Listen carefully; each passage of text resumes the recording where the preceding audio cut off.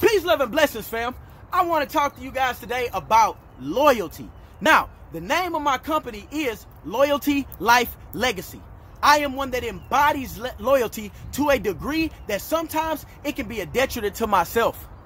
Don't.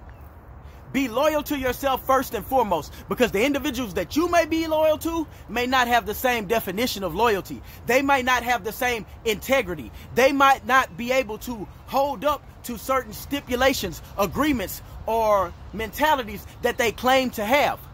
At the end of the day, when that happens, all you can do is learn from that lesson and move forward accordingly. Don't let it bring you down. Don't let it sap your energy. Because when you're dealing with individuals like that, that are narcissists, they need your energy. They feed off of it. It literally fuels them to a degree because they feel like they won something. Now, if you allow it to get you angry, you allow that individual to control you. And when you allow an individual to control you, they have one.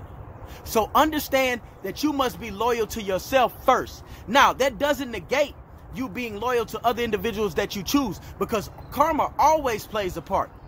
You have to understand that when dealing with karma, any agreements that you have made that you dis that you disconnect yourself from or that you tear or break that contract, that bond, that seal, that agreement, now you have to deal with that yourself. So be loyal to yourself first and foremost before even making any agreements that you may or may not be able to uphold. And if you are not able to uphold it, at least have the decency to tell the other individual, hey, I'm not going to be able to abide by that due to whatever reasons. Always be loyal to self first. Always love self first and never let anybody take your energy or take you out of your grandest moment.